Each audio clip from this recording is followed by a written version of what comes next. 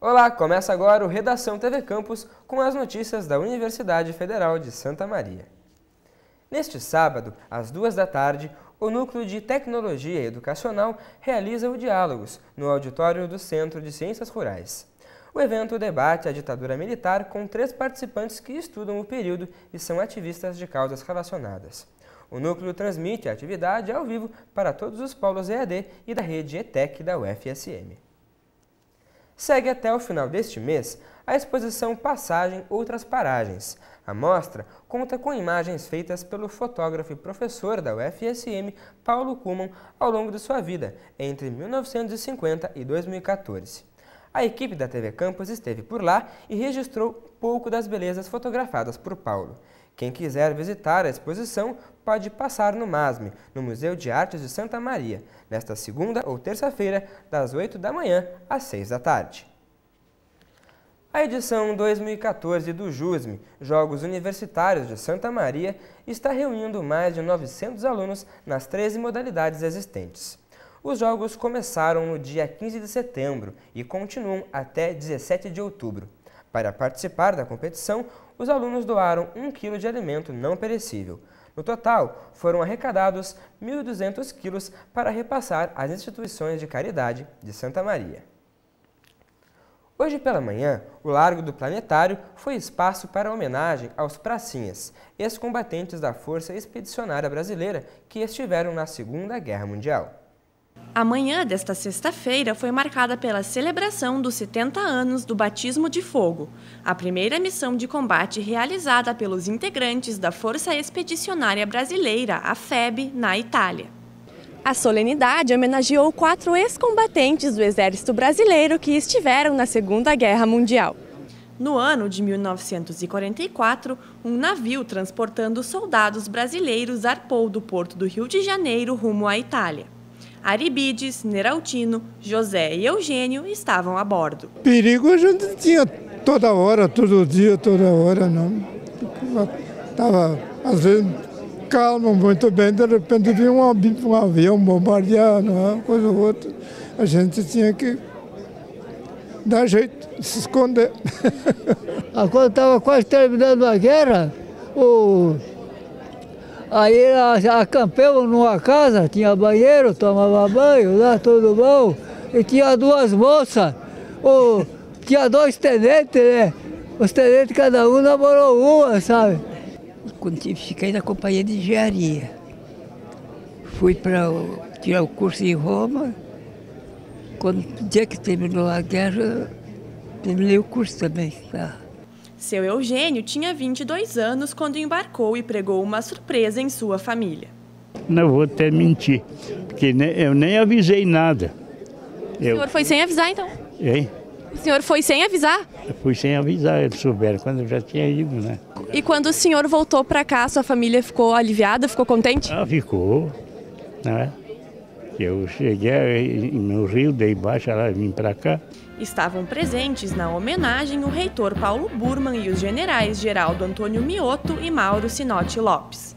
Os ex-combatentes, todos na faixa dos 90 anos, receberam medalha e diploma como forma de homenagem. É importante que a universidade se coloque como um ente social, uh, reconhecer a esses poucos uh, bravos expedicionários que uh, ainda vivem entre nós. E muitos deles filhos de imigrantes italianos, alemães, poloneses, russos, olhem bem, vão para a Itália combater uma ditadura do Partido Nacional dos Socialistas Operários Alemães e também do fascismo na Itália. O episódio do batismo de fogo marcou a primeira vez que soldados brasileiros receberam tiros de artilharia, se depararam com campos minados e defrontaram com patrulhas inimigas.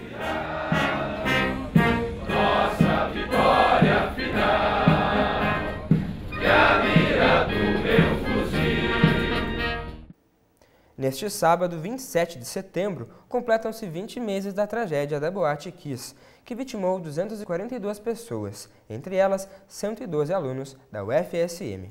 Para atender os sobreviventes do incêndio, foi criado o Centro Integrado de Atenção às Vítimas de Acidente, que agora atende toda a comunidade. O Centro Integrado de Atenção às Vítimas de Acidente foi criado com a intenção de atender os sobreviventes da tragédia que aconteceu na Boate Kiss em janeiro do ano passado. Hoje, 20 meses depois, o centro ainda funciona. Marisei, como é que está o trabalho do CIAVA hoje? Bom, o, o, as vítimas aqui estão sendo atendidas, né, todas as segundas e terças-feiras, das 16 às, às 18 horas, uh, sendo que o maior número de atendimento é na pneumo, né, psiquiatria, tem atendimento à fisioterapia, psicólogo, né, neuro, e o clínico geral, sempre quando não tem alguma necessidade, eles ligam, a gente marca e eles são atendidos, né, por qualquer tipo de, de atendimento, exame que seja que precisa fazer. Um tempo mínimo, o mínimo de cinco anos, né? Mas isso aí só no decorrer do tempo que vai haver mesmo saber a necessidade desse atendimento. Eles necessitam de, de tratamento pneumológico, né? A fisioterapia que os queimados ainda estão fazendo e tem alguns ainda que vão fazer cirurgia reparadora. Lembrando que o CIAVA funciona toda segunda e terça-feira, das 4 às 6 da tarde. Por conta dos 20 meses da tragédia, acontece amanhã o ato Santa Maria pela Vida, na Praça Saldanha Marinho. A programação começa às 9 horas da manhã com o plantio de flores e revitalização dos canteiros no entorno da praça. Também haverão apresentações artísticas e mateada. O ato tem a organização da SEDUFESM, Seção Sindical dos Docentes da UFSM, do movimento Santa Maria do Luto à Luta, com o apoio da Associação de Familiares de Vítimas e Sobreviventes da Tragédia de Santa Maria, do DCE, Diretório Central dos Estudantes, e do Comitê Santa Mariense de Solidariedade ao Povo Palestino.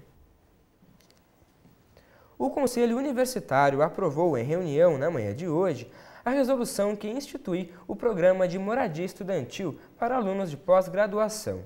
A coordenação do programa ficará a cargo de um conselho de administração que será formado por três membros da Pró-Reitoria de Assuntos Estudantis e três moradores indicados pela moradia da pós-graduação.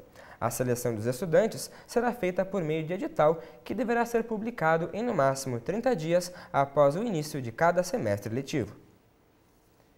Começou hoje o Seminário de Assistência Estudantil na União Universitária. O encontro deve criar uma proposta de assistência estudantil para o FSM. O programa Vida e Atitude de hoje discute justamente este tema. Veja um pouco do que podemos esperar para esta noite. A UFSM abriga mais de 25 mil alunos. Para mantê-los na instituição, diversas estruturas são criadas para que eles sejam assistidos em todos os sentidos. Atendimento psicológico, alimentação balanceada e barata e moradias como esta são alguns dos recursos que a Universidade Federal de Santa Maria reserva para assistência estudantil. Assistência estudantil essa que é uma das principais pautas da atual gestão do Diretório Central dos Estudantes, o DCE.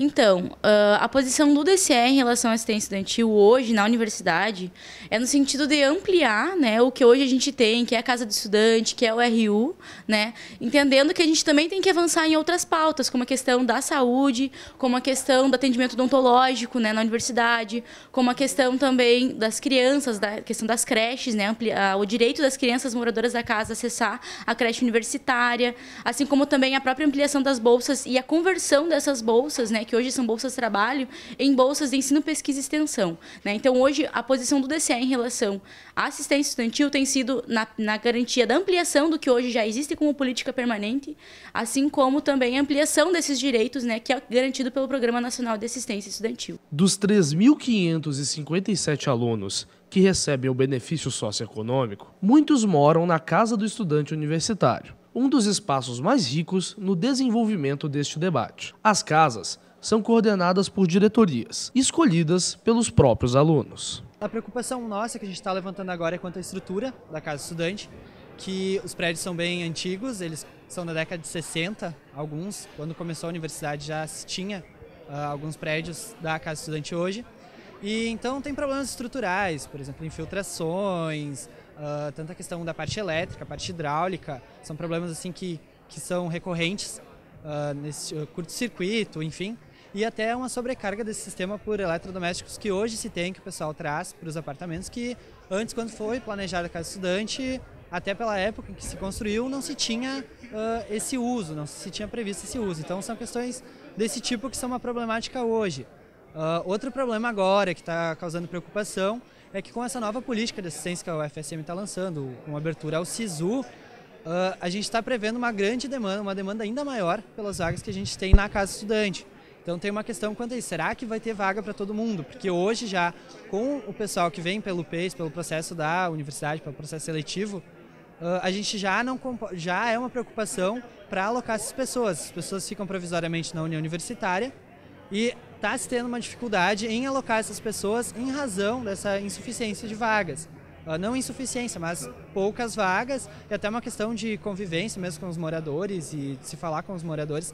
Então está tendo essa problemática de alocar esses moradores que chegam agora e o que nos preocupa é como a gente vai fazer com uma demanda maior, com uma demanda com ainda mais pessoas chegando com essas, enfim, uh, SISU e tal, esses novos programas de adesão ao ensino superior. Eu não teria condições de ficar em Santa Maria se não fosse ser estudantil, porque eu não teria condições de, sei lá, alugar um apartamento ou então pagar refeição, o preço integral, que a gente tem o preço reduzido, né, com benefício socioeconômico. E para mim é essencial. A assistência estudantil da UFSM é essencial para mim estar tá mantendo o meu curso de graduação. Se não fosse o programa de assistência estudantil, eu não teria condições de permanecer na universidade. Para debater mais sobre o tema, o DCE está organizando, nos dias 25 e 26 de setembro, o primeiro seminário de assistência estudantil da UFSM. O DCE está puxando, né, junto com as diretorias das casas, a, a, jornada de lutas pela assistência estudantil, que é uma jornada que está sendo é, mobilizada principalmente pelos moradores da casa hoje, né, que as resoluções que regulamentam tanto a moradia quanto o benefício socioeconômico estão em processo de reformulação, né, em votação no Conselho Universitário. Então, essa jornada ela, ela iniciou muito desse movimento das moradias para debater as resoluções. Né? Então, que vai ter uma assembleia essa semana, é, sexta-feira agora vai ter no Conselho Universitário a votação né, dessa nova resolução da moradia. Então a gente está fazendo assembleias na casa de estudante, nos prédios da casa, com os moradores para reformular essa resolução. E, e, a jornada também muito iniciou disso, né? Então, para além disso, a gente também quer fazer uma assembleia dos bolsistas, né, da universidade para debater a questão da bolsa, principalmente as bolsas PRAE, né, para poder discutir o modelo dessa, dessa, dessa bolsa que hoje a gente considera ilegal, porque ela não está dentro da lei de, de estágio, acaba sendo um dinheiro que vem do PINAIS e que está sendo é, distribuída para trabalho dentro da universidade. Né? Resta ainda saber o que o setor que mais lida com o assunto, a Pró-Reitoria de Assuntos Estudantis, tem a dizer sobre o tema no momento. O Vida e Atitude vai ao ar hoje às 8 da noite, logo após o Redação TV Campus. E após o Vida e Atitude, tem Momento Cinema, às 8h30. Não perca os comentários mais informativos e reverentes sobre a sétima arte. E o Redação TV Campus de hoje fica por aqui. Obrigado pela sua atenção e um ótimo final de semana. Voltamos segunda-feira com mais notícias. Até lá!